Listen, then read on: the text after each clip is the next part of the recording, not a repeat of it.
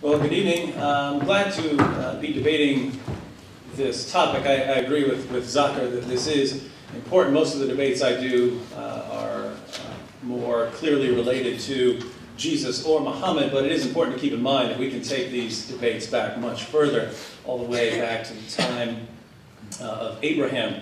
Uh, so uh, I'm, I'm, looking forward to, to this exchange tonight. Uh, I'd like to thank uh, Zakir for representing the Muslim position tonight and the Muslim Debate Initiative for putting together an interesting series uh, of topics this week. Uh, I'm going to break up my opening statement into uh, a couple of parts. First, uh, I'd like to take a look at the covenant with Abraham in the larger context of, of the Bible, and that's similar to what Zakir has done. He, he, he went to uh, he went to the Quran, he went to other passages in the Bible to look at it in kind of a larger context. I'd like to do that as well. Um, second, um, I'll zero in on the covenant with uh, Abraham, Isaac, and Jacob to, to look at exactly what's being maintained uh, in those passages about the covenant with, Abraham. And finally, if I have any more time in my opening statement, I'll respond. I'll start responding to some of Zakir's arguments. Uh, I think most of them will have to wait until their rebuttals. Uh, so, put the covenant in context, in the context of the Bible as a whole. The first sacrifice in the Bible that we read about was actually by God in Genesis chapter 3. Uh, if you recall, Adam and Eve sinned against God and they tried to cover their nakedness with fig leaves. Um, after God pronounced judgment on them, we read in Genesis 3.21, and the Lord God made for Adam and for his wife garments of skins and clothed them.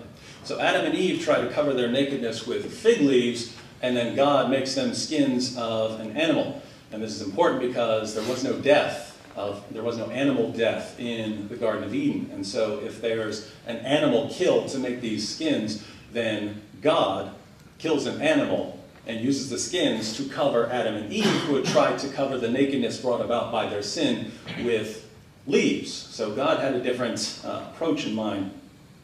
Uh, now, do you know what kind of animal was sacrificed there? Neither do I. The Bible doesn't say. Um, but I, I, I, think it was a lamb for several reasons. Some, lots of Christians believe that it was a lamb uh, for several reasons. Uh, lambs happen to make good clothes. Uh, there is a, a, a, biblical emphasis throughout the Bible on lambs as sacrificial animals.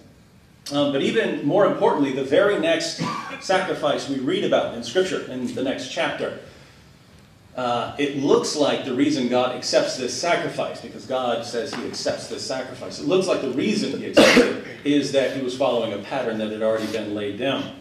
So I'm referring, of course, to Genesis 4, where we read about the story of, of Cain and Abel. Uh, it says in the first couple of verses that Adam and Eve had uh, these sons, Cain and Abel. Uh, Cain worked the soil, and uh, Abel tended the flocks. And we get to verses 3 through 5, uh, which says, uh, In the course of time, Cain, Cain brought to the Lord, this is what Cain brings, Cain brought to the Lord an offering of the fruit of the ground, and Abel also brought of the firstborn of his flock and of their fat portions. And the Lord had regard for Abel and his offering, but for Cain and his offering he had no regard. So Cain was very angry, and his face fell. Cain was angry because God wouldn't accept his offering. But what was Cain's offering? He offered some kind of vegetables from, uh, from the soil. Uh, whose pattern did he end up following, whether knowingly or unknowingly? Remember, Adam and Eve tried to cover their sins with these uh, with these leaves. Cain offers uh, a sacri- I mean, uh, offers an offering from uh, the fruits of the ground. Abel, on the other hand, sacrificed lambs as an offering to God. And it says that, that God accepted this offering. And why? Well, it seems he's following the pattern by God, where uh, God gave Adam and Eve a different way of, of covering the nakedness brought about by their sin.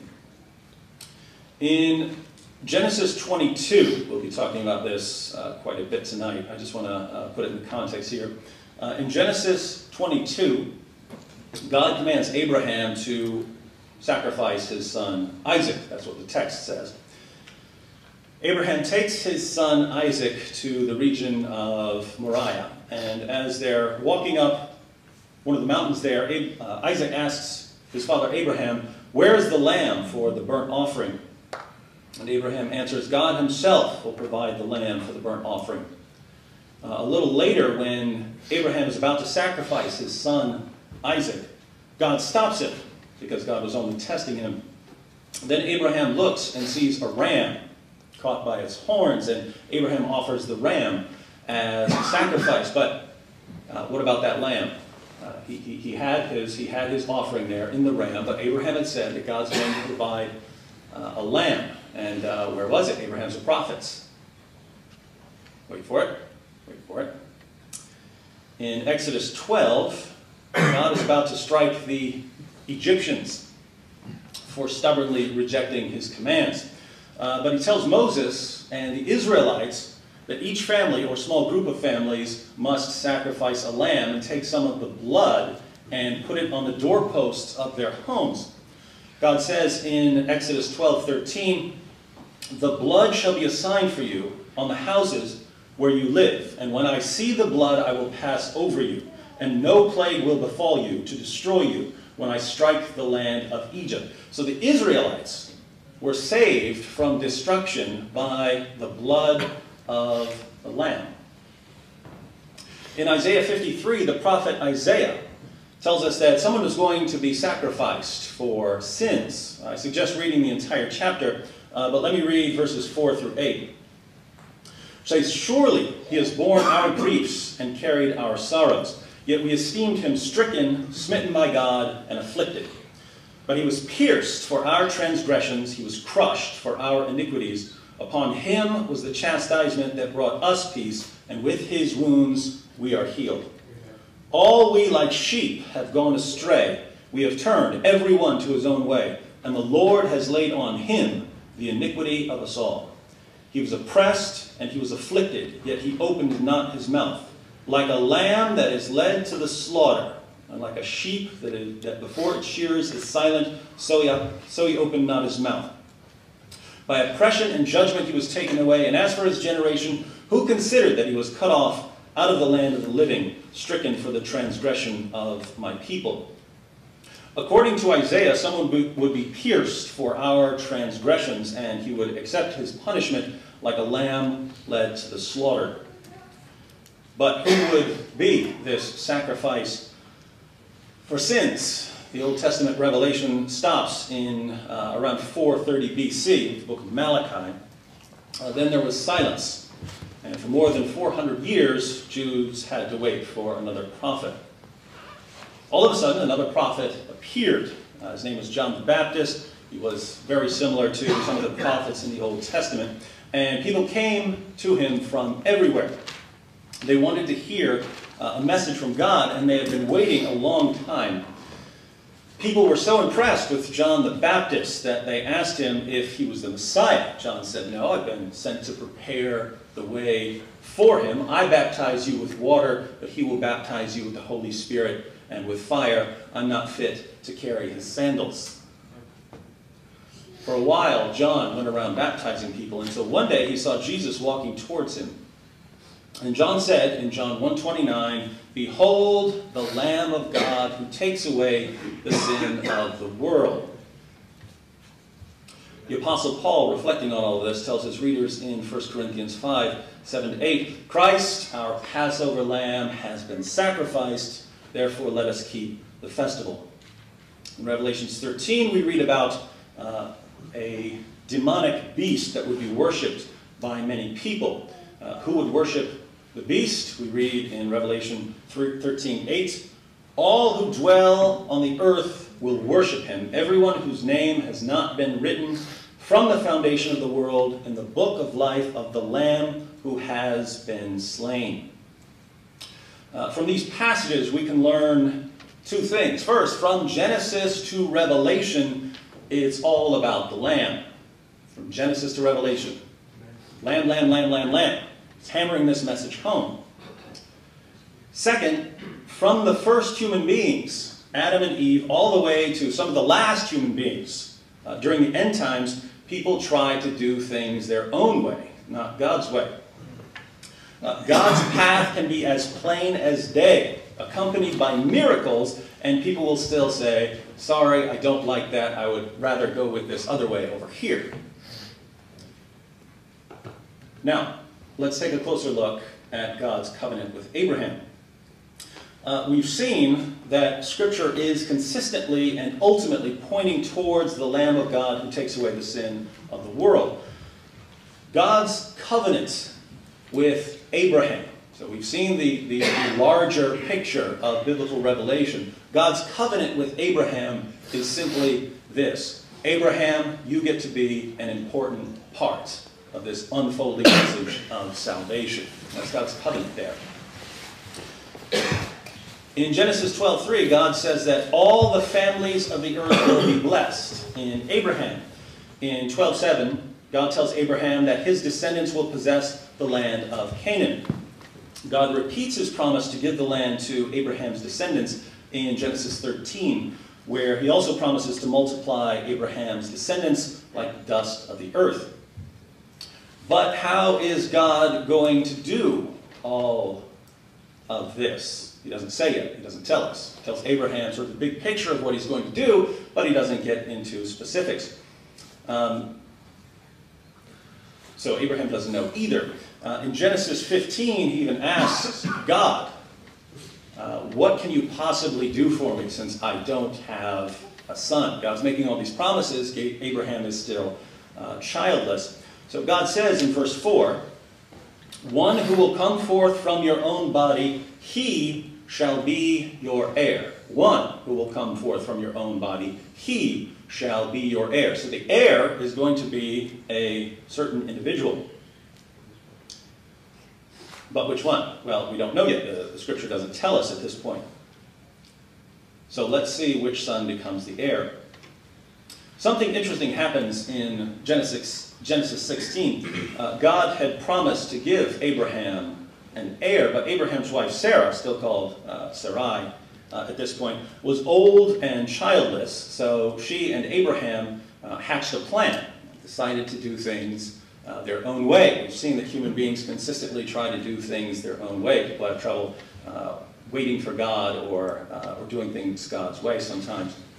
Uh, Hagar became pregnant and Ishmael was born. Um, so Abraham now had a son.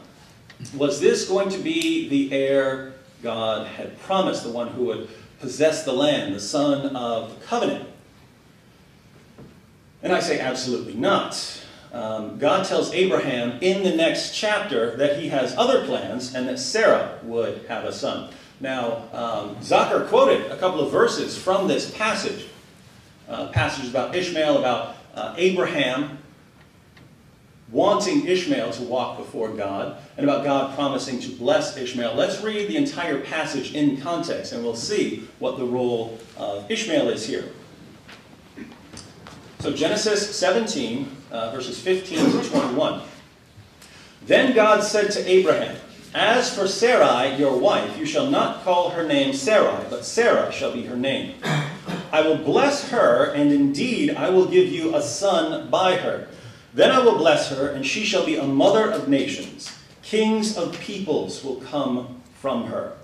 Then Abraham fell on his face and laughed, and said in his heart, Will a child be born to a man 100 years old? And will Sarah, who is 90 years old, bear a child? And Abraham said to God, Oh, that Ishmael might live before you. That was, the, uh, that was uh, Abraham's request, right? Abraham said to God, Oh, that Ishmael might live before you. But God said, No, but Sarah your wife will bear you a son, and you shall call his name Isaac, and I will establish my covenant with him for an everlasting covenant for his descendants after him. As for Ishmael, I have heard you. Behold, I will bless him, and I will make him fruitful and will multiply him exceedingly. He shall become the father of twelve princes, and I will make him a great nation. But my covenant I will establish with Isaac, whom Sarah will bear to you at this season next year. Now, all of that, when we read it in context, sounded perfectly clear to me. Did God say, I'm going to establish my covenant with Ishmael? Or did he say, I'm going to establish my covenant equally with uh, all of Abraham's sons? No. Even when Abraham specifically requests that Ishmael would walk before God, uh, God says he has other things in mind. He promises to bless Ishmael. I agree with that. He promises to make him a great nation. I agree with that. But the covenant, the everlasting covenant, is through Isaac. That's not according to me, that's according to the scriptures and the very passage that Zakir was using to support his position. Uh, as further supports, we can look throughout, uh, throughout the rest of Genesis and see how God continues these promises. Uh, in Genesis 26, now Abraham is dead. Abraham died in chapter 25. And by the way, by Genesis 25, everything that had been promised about Ishmael was already fulfilled. So the idea with Ishmael, the idea with Ishmael is Abraham, you've promised, you, you, you, I will bless him, I'll make him a great nation, 12 princes are going to come, and that's exactly what we find by Genesis chapter 25 has already happened. But things continue with Isaac and with Jacob. So in Genesis 26, uh, there's, a, there's a famine, and uh, Isaac is worried about it. And we read, The Lord appeared to him and said, Do not go down to Egypt Stay in the land of which I shall tell you. Sojourn in this land, and I will be with you and bless you. For to you and to your descendants I will give all these lands, and I will establish the oath which I swore to your father Abraham. I will multiply your descendants as the stars of heaven, and will give your descendants all these lands. And by your descendants all the nations of the earth shall be blessed because Abraham obeyed me and kept my charge, my commandments, my statutes, and my laws. Notice, God repeats all of the promises that he made to Abraham to Isaac. Does he do that with Ishmael? Does he come to, does he come to Ishmael and repeat all of the promises given to Abraham? No, he does it with Isaac. And notice that it's through Isaac that God is going to to uh, bless all the nations of the earth. Zakir said, no, it has to be. It has to be uh, through Ishmael to ultimately get to Muhammad. Well, the, the same book of the Bible that he's quoting says otherwise, says it's through Isaac, and this is, this is God speaking here. Um, and we read, when we go on, to Jacob. So Isaac has a son, Jacob. And we read uh, uh, in Genesis chapter 28, 13 to 14, and behold, the Lord stood above it and said, I am the Lord, the God of your father Abraham and the God of Isaac. The land on which you lie, I will give it to you and to your descendants. Your descendants will also be like the dust of the earth, and you will spread out to the west and to the east and to the north and to the south, and in you and in your descendants shall all the families of the earth be blessed. So I don't actually know how this could be any more clear, given what the text says. God goes to Abraham and says, Abraham, I'm establishing my covenant with your son Isaac. It's not with Ishmael. Then God comes to Isaac and says, Isaac, my covenant's with you. It's in you that all the families of the earth are going to be blessed. Then Isaac has a son, Jacob. God comes to him and says, It's through you that all the families of the earth are going to be blessed. Somehow Zakir reads these passages and says, clearly it must be Ishmael.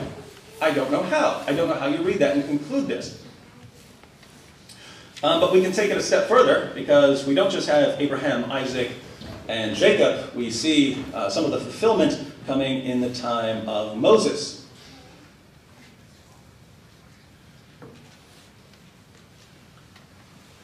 In uh, the book of Exodus, in Exodus, we see that uh, the Israelites, so if, if I, am assuming most of you are familiar with the story, but just in case you aren't, um, I've got about two and a half minutes left. Um, God also promises Abraham that his descendants, the descendants he's referring to who are going to take the land, are going to go down to the land of Egypt. They're going to go to the land of Egypt. They're going to suffer for 400 years, and they're going to come out of Egypt and then they're going to possess the land. Now, watch what God says in Exodus chapter 3, verses 6 through 8. So this is God speaking. says, And he said, I am the God of your father, the God of Abraham, the God of Isaac, and the God of Jacob. And Moses hid his face, for he was afraid to look at God. Then the Lord said, I have surely seen the affliction of my people who are in Egypt. So God's people are in Egypt, and have heard their cry because of their taskmasters. I know their sufferings, and I have come down to deliver them out of the hand of the Egyptians, and to bring them up out of that land to a good and broad land, a land flowing with milk and honey, to the place uh, the Canaanites, the Hittites, the Amorites, the Perizzites, the Hivites, and the Jebusites. And now behold, the cry of the people of Israel has come to me, and I've also seen the oppression with which the Egyptians oppressed them. Uh, in Deuteronomy chapter 1, uh, verses 8 and 10, we read, See, I have set the land before you. Go in and take possession of the land that the Lord swore to your fathers, to Abraham, to Isaac, and to Jacob, to give them and to their offspring after them. The Lord your God has multiplied you, and behold, you are today as numerous as the stars of heaven. So, um, I don't see, again, I don't see anything confusing here from the Bible. There is, uh, I'll, I'll, respond in the, in the, rebuttals to, to some of Zakir's points, but the overall picture that we have here, God talks to Abraham, Abraham uh, has, has a son that he really likes, um, and, and, and for the record, I won't dispute that uh, Ishmael was a legitimate son of, uh, of Abraham. And so I agree with you that people should not even be, uh, even Christians should not even be uh, using that sort of argument. Uh, the only point is the covenant was not with Ishmael. The covenant was through Isaac. God made promises, not a covenant. A covenant is different. Covenant is where God says, you're going to do this, and I'm going to do this. And if you get out of line, I'm going to bring you back to what you promised. Uh, a promise of God is where he just says, I'm going to do this. Doesn't matter what the other person does. God says he's going to do that. And we see that every promise God made about Ishmael is fulfilled by Genesis 25. So how do you say that this must refer to something that happened thousands of years later with the coming of Muhammad? I don't think you can, at least not based uh, on these texts. Chapter 17 of Genesis. Every male among you shall be circumcised. And Zakir has made uh, quite a bit out of the fact that Ishmael was circumcised. So was everyone in Abraham's household. So were the servants, every, every male in his household. Everyone who was with him was circumcised. Does this mean that they are all part of the covenant? Well, now we're now we're uh, uh, now we're equivocating on what the covenant is. Uh, the covenant, who it's traced through, the lineage that it's traced through, that is guaranteed to be through Abraham, Isaac, and Jacob.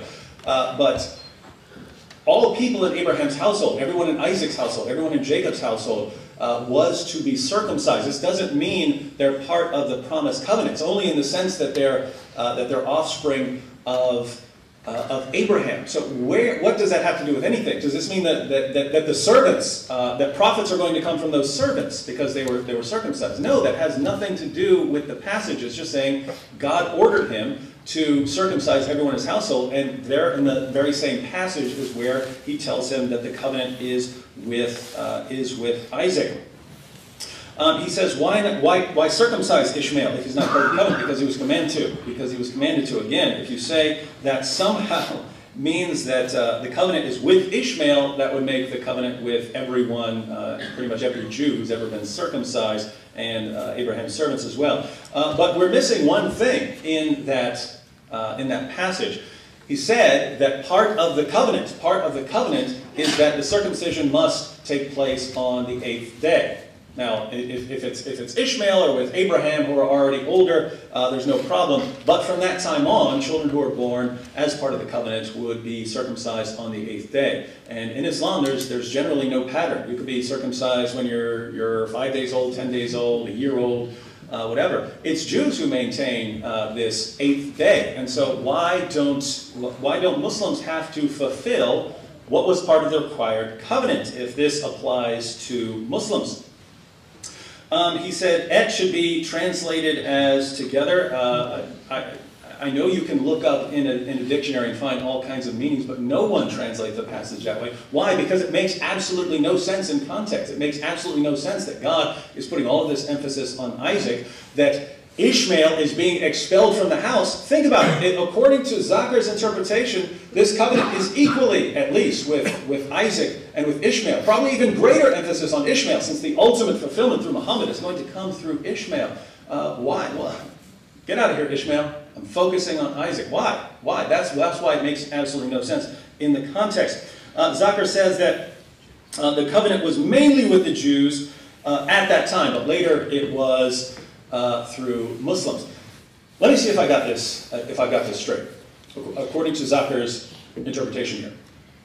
The covenant is somehow equally, or, or even more so, uh, with, with Ishmael, but let's say it's just, it's, it's with both. It's with both Isaac and with Ishmael.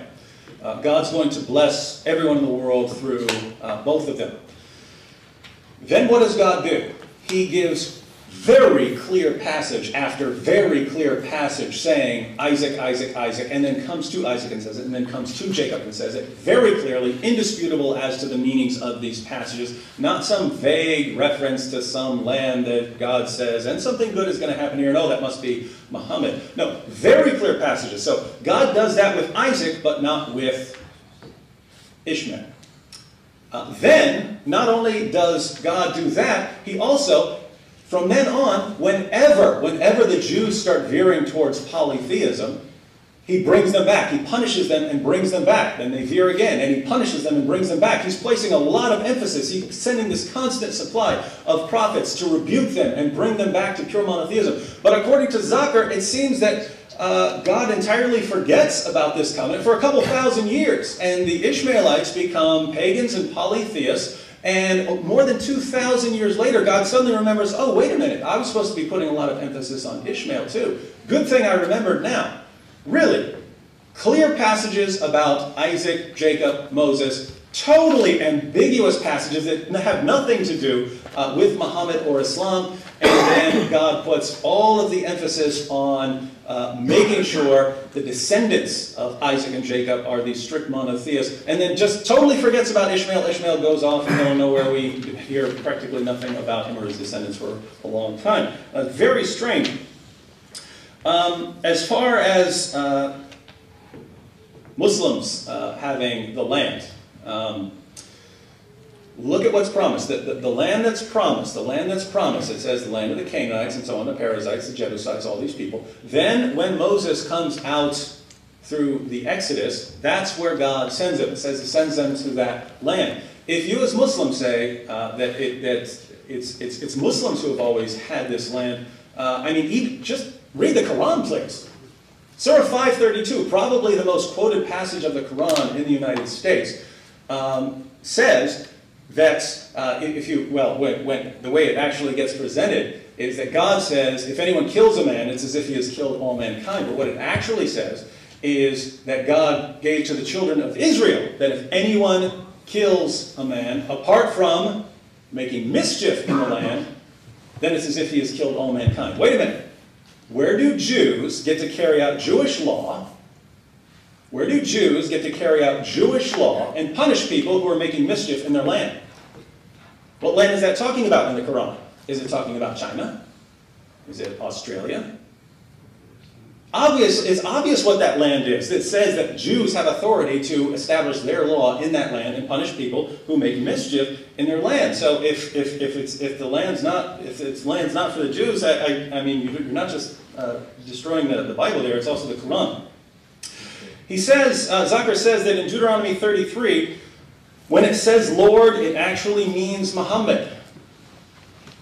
Again, I mean, I don't, I, I, I try to be more, I try, I try, personally, I try to be careful when I read the word Yahweh, the Jews won't even say. They will not even say the word that is so holy.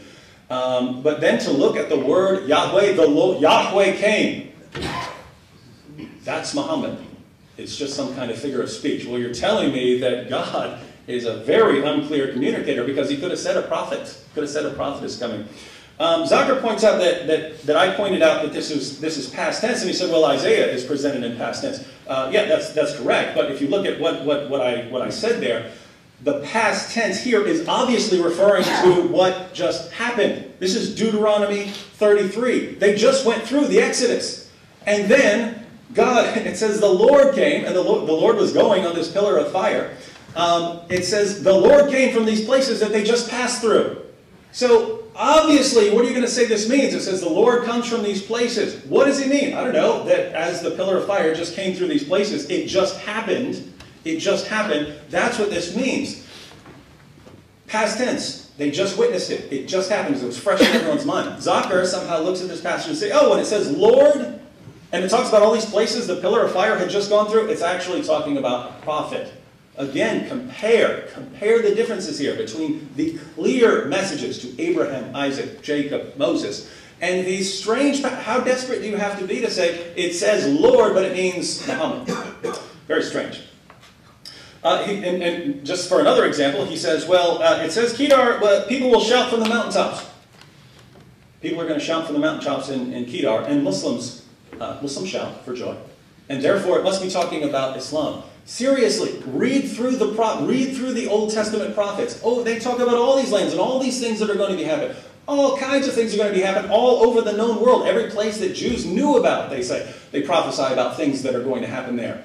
Are there prophets in all these lands? No. And how desperate do you have to be to say people are going to rejoice there? Must be talking about Islam. If these are the pass if these are the only passages we have, and this message contradicts everything we everything else we read in the Bible, which has again clear revelation about the Lamb of God throughout the throughout the Bible, um, I don't know what method we're using here.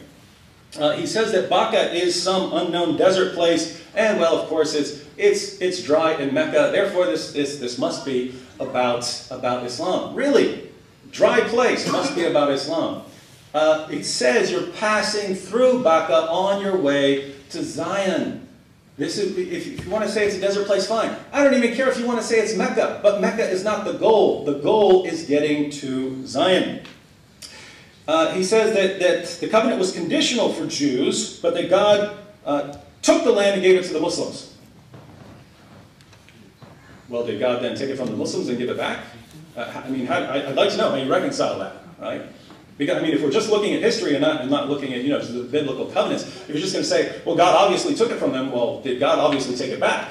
And if we're just going to kill the history, I'm, I'm, I'm, not, I'm not saying anything about, about the dispute, uh, uh, about the dispute over the land, but I'm saying if you're just saying God obviously took it because Arabs got it, well, Arabs don't got it now. All right, again, Zakir brings up a lot of points. One that, that, that, I didn't really get a chance to answer. I normally be giving a conclusion here, but uh, I don't want to leave this hanging out there. Uh, about Jesus, um, Jesus having no earthly father, well, we know what his human ancestry is. We know his, where his physical nature uh, ultimately came from, and it goes back. We have the genealogy um, all the way back to Abraham, Isaac, and Jacob. Uh, so I, I, don't see how this could be uh, any kind of significant problem. Uh, he says, I, he continues to say, I can't quote the Bible until I resolve the difficulties uh, point was absolutely well made about the inconsistency. Zakir quotes the Bible over and over and over and over again. Any point, any point in there that he can get to agree with them, even if it's massive stretches of interpretation, uh, we are supposed to take uh, at face value as some kind of uh, establishment of Islam and the prophethood of Muhammad. Every verse that disagrees with the Islamic position, obviously, obviously corrupt. Can't trust that. Can't uh, uh just can't trust the Bible. And uh, I can't quote anything in the Bible. Um, total inconsistency, total inconsistency. And think uh, about that method. If, if that's the method, you could, you could prove anything to anyone. I could go to any book, anyone's scriptures, open them up and say, uh, hey, everything I agree with, that's good scripture. All these other things that I don't agree with, you've got a problem, you can't quote it to me. Um, very strange. Uh, and I'll just go ahead. I'll just go ahead and add, if we're uh, if we're going to point, I mean, if we're going to point this out, in, uh, in the Quran, chapter 5, verse 43, uh, God asks, why are they coming to you, Muhammad, when they have the Torah? Well, according to Zakir, the Torah is filled with these errors and contradictions. Why is God saying, Muhammad, they don't need you, they've got the Torah? Why does Surah 5, verse 68 say, We have no ground to stand upon if we do not stand upon the Torah and the Gospel? How can we stand upon a corrupt book? And if the book is corrupt, as it is, according to Zakir, then we have no ground to stand upon, according to Islam. Uh, and by the way, uh, Zakir's prophet, Muhammad, when a copy of the Torah was brought to him, swore that it was the Word of God. He said, I believe in you and in the one who revealed you. So notice, according to Zakir, Muhammad was affirming a corrupt book. Um, so what we've seen here this evening is uh, very simple. You've seen over and over and over again clear messages Abraham, Isaac, Jacob, Moses, all the way down to Jesus, clear statements of God's uh, affirmation. When it comes to something about Ishmael's descendants, it's, oh, something's going to happen over there in the leader in, in, in Kedar. Uh, people are going to go through the valley of Baca. This must be talking about Mecca. And not only is it talking about Mecca, it must be talking about Muhammad and Islam. Totally unclear, uh, totally unclear passages that no one who ever read, read these, any of these passages would ever conclude has anything to do with Islam unless you start with Islam, start with the assumption that Islam is true, and then go back looking for something, anything that will justify concluding that the covenant was, is with Isaac, and you just don't have anything.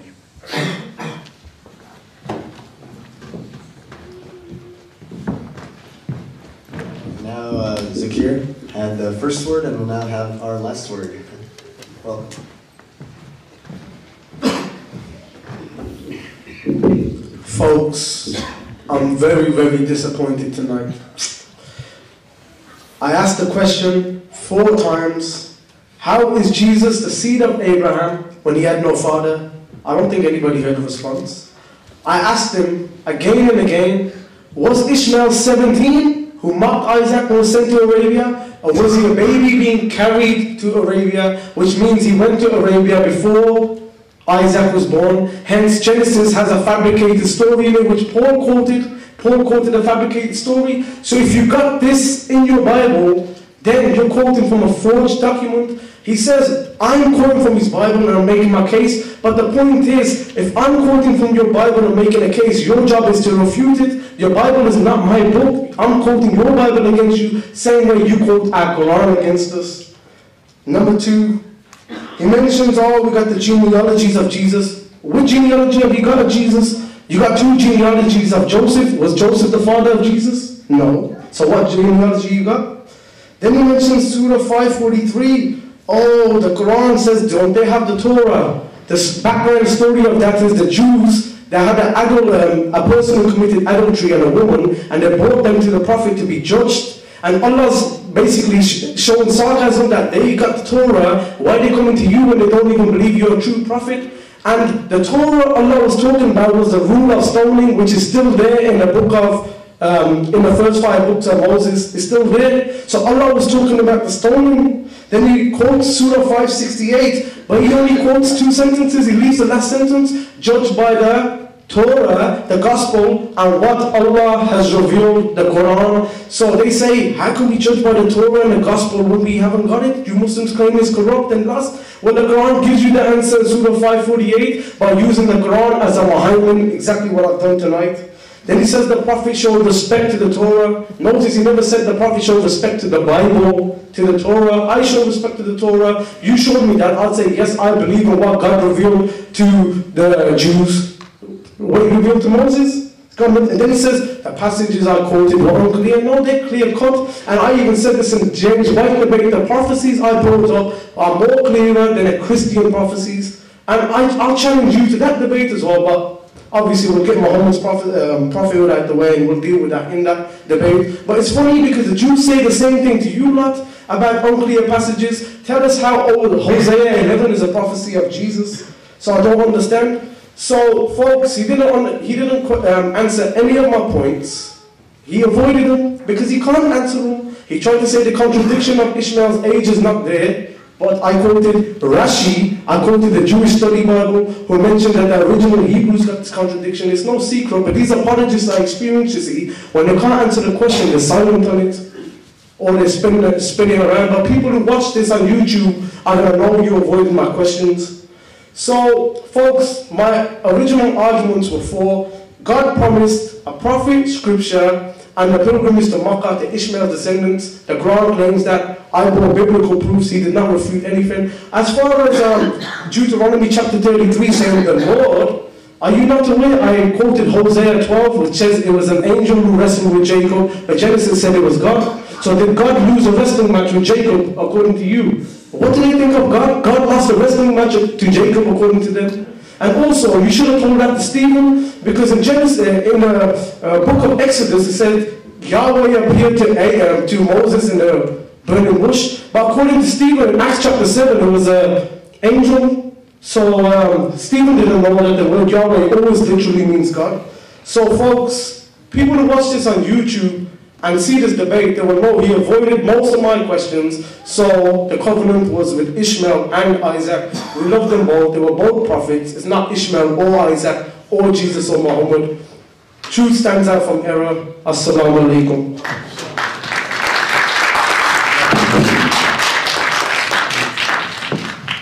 Okay, well, fantastic. Or should I say brilliant, as you guys like to say in England. Um, but thanks for coming out and discussing this, uh, for being part of this discussion, these important questions. Um, let's give one more round of applause for our speakers tonight. They did a good job.